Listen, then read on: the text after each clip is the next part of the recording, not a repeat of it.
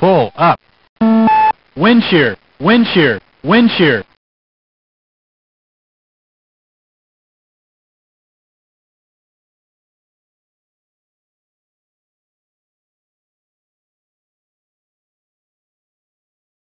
The 737 warning systems use inputs from other systems to alert pilots about the condition of the airplane, airplane configuration, traffic near the airplane, and ground proximity. These are the primary components of the warning systems.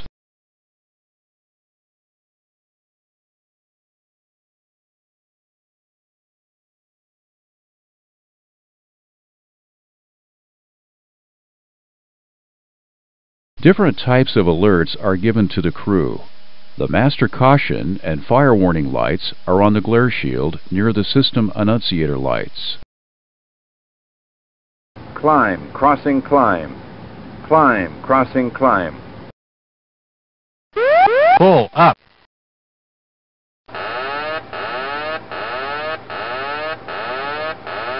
Computer voices, oral alerts, and visual prompts also warn the crew.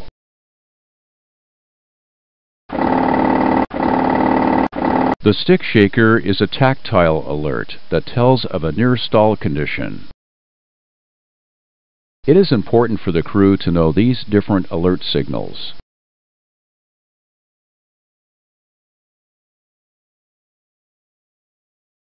Descend, descend, descend.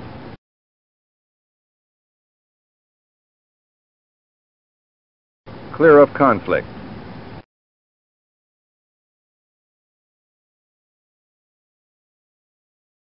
The Traffic Alert and Collision Avoidance System, or TCAS, helps to keep safe traffic separation.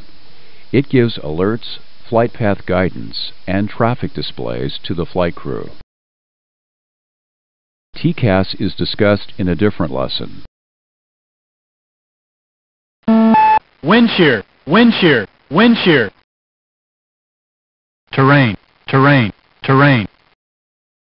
GPWS alerts the flight crew to wind shear, terrain, glide slope deviations, and configuration problems.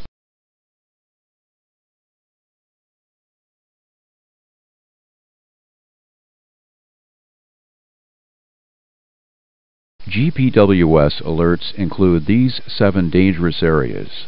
The alerts are voice messages, visual messages on the attitude indicator, and lights. GPWS is discussed in a different lesson. Fire and overheat alerts are supplied by the fire warning system. Fire warning is also discussed in a different lesson.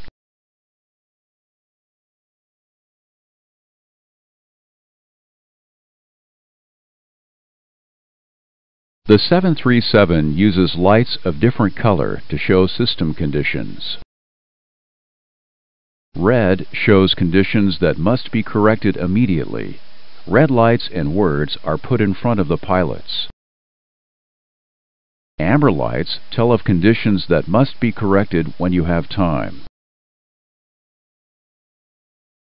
Blue lights tell pilots the condition of systems in operation. They show when electrical power is available, the position of valves, and interphone calls to the pilot. Lights are bright blue while valves move, and dim blue when they are in the position set. Green lights tell pilots that the correct landing configuration is set.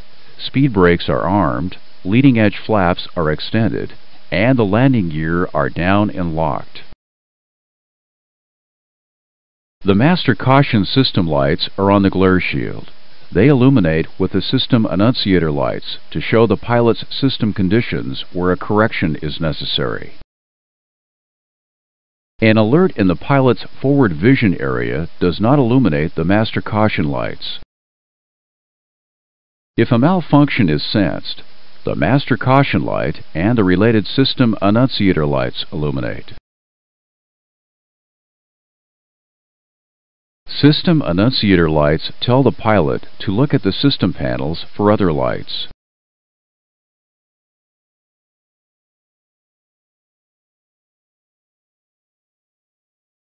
The flight control, fuel, electrical, APU, anti-ice, hydraulic, doors, and air conditioning annunciator lights refer to the overhead panel.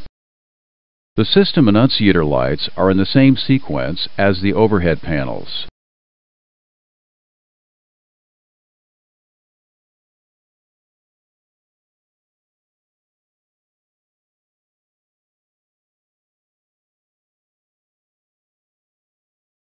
The IRS and engine annunciator lights refer to the aft overhead panel.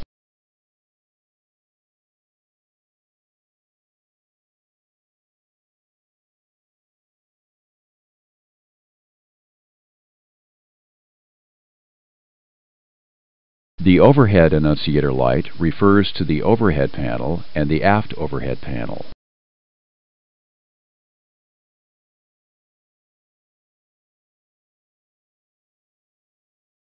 The overheat detector annunciator light refers to the overheat fire protection panel. The system lights and their related malfunctions are discussed in other lessons.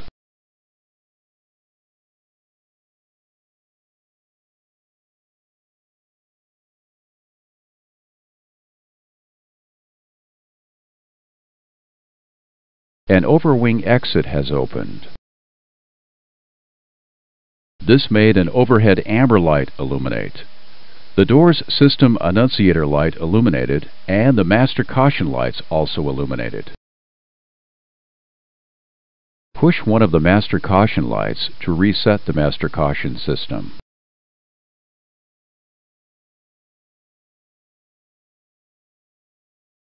The master caution and system annunciator system is reset. It is armed to alert the pilots if different problems occur. The pilots should now correct the door problem. Push one of the system annunciator lights to recall all active faults. One push on the system annunciator panel, a procedure named recall, shows the pilots which problems are not corrected.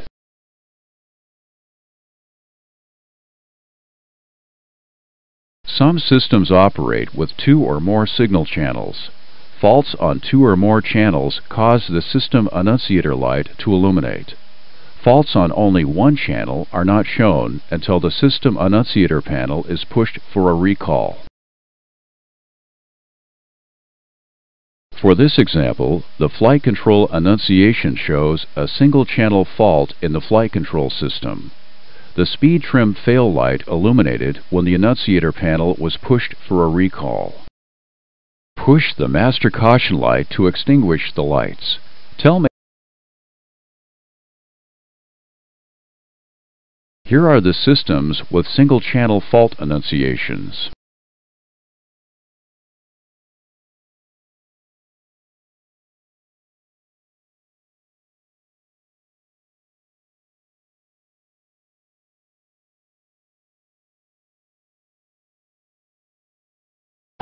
An overspeed makes the clacker noise operate.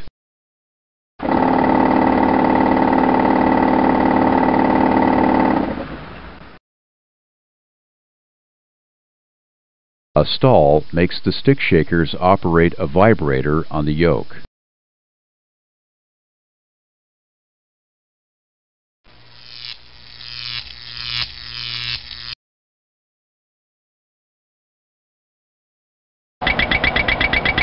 The ADIRUs supply data to the aural warning module and the overspeed clacker. Decelerate to the correct airspeed to stop the clacker.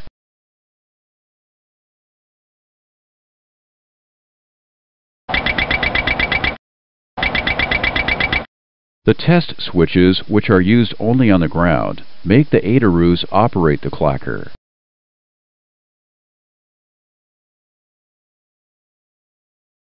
A red and black bar and an amber bar on the airspeed indicator show the high speed limits. The pilot feels the yoke shake and hears a rattle when he is near a stall.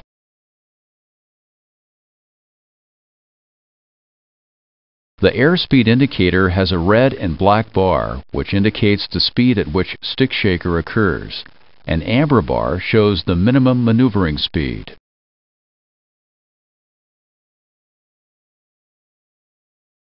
The two stall management computers get data from many sources.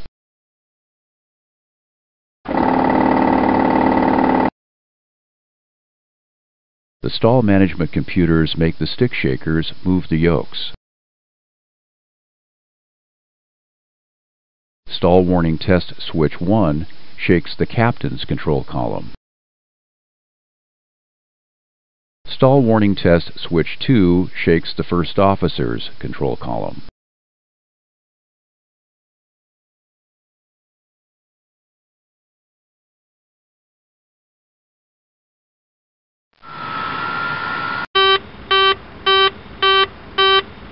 The 737 can tell the pilots of dangerous conditions before the takeoff.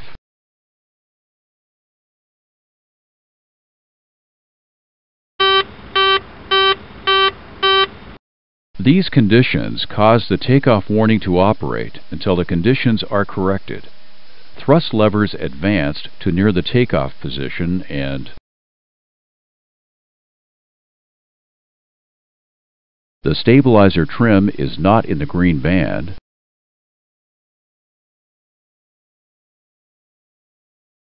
The trailing edge flaps are not set between 1 and 15, or the leading edge devices are not configured for takeoff.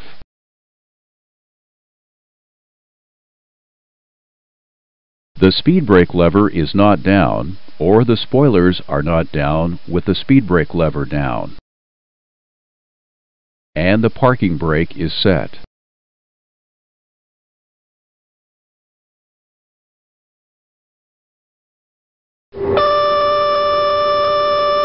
Visual and oral signals tell the pilots when the landing gear are not down and the airplane is near the ground. Red shows that the landing gear do not agree with the landing gear lever. This alert occurs when one forward thrust lever is in idle and altitude is below 800 feet AGL. A green landing gear light shows that the related landing gear is down and locked. When all lights are extinguished, it shows that all the landing gear are up and locked.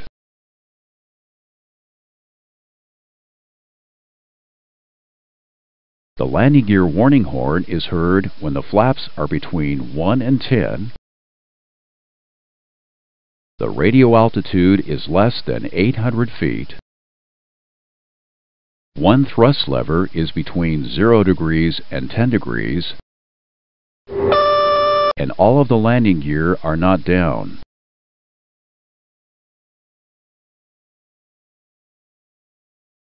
Stop the warning horn with the landing gear warning horn cutout switch on the control stand.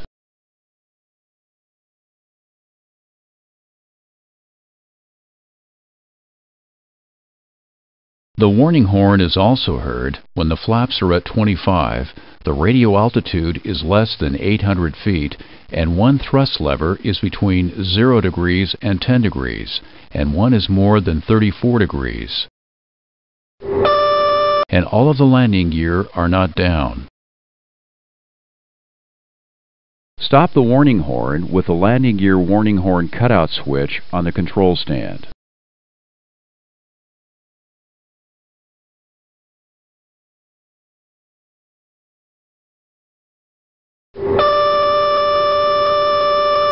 When the flaps are at 15, two thrust levers are less than 34 degrees with one less than 20 degrees and all landing gear are not down. The horn sounds and cannot be stopped.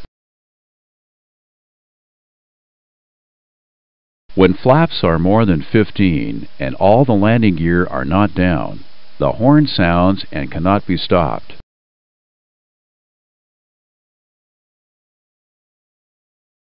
Here is a review.